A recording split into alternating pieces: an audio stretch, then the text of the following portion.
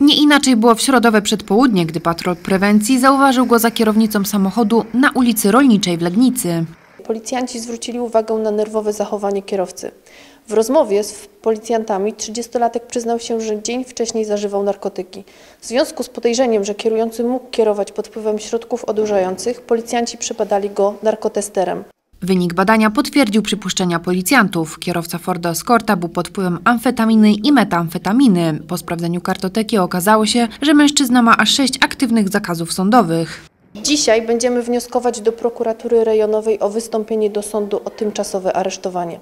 Okazuje się, że od sierpnia ubiegłego roku 30-latek był już siedmiokrotnie kontrolowany przez legnicką policję. Ostatnia wpadka nie uszła mu jednak na sucho.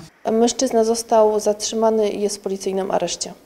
Legniczanina na jeździe pod wpływem środków odurzających dwukrotnie zatrzymano także na terenie powiatu lubińskiego. Tamtejsza komenda prowadzi przeciwko niemu odrębne postępowania.